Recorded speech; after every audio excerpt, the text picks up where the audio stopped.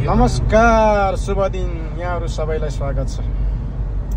हामी अहिले तुरन्तै फर्किने क्रममा छौँ। अहिले बाटोमा हिँड्दा हिँड्दै यो फुलको मनमोहक दृश्यले थोरै यसो भिडियो कैद गरौँ जस्तो लाग्यो।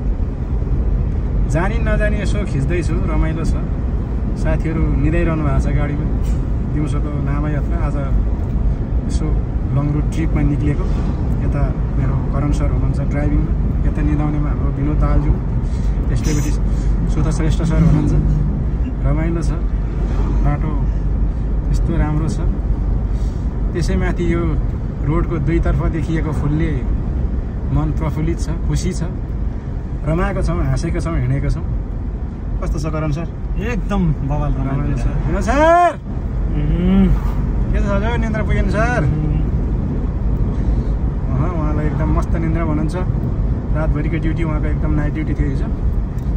त्यस भएर यसले उहाँलाई निन्द्रा पुगेको छैन। बिहानै उठाएर छ बजी खेलेको अब हामी आफ्नो कम्पनीतर्फ फिर्ता हुँदैछौँ। धन्यवाद।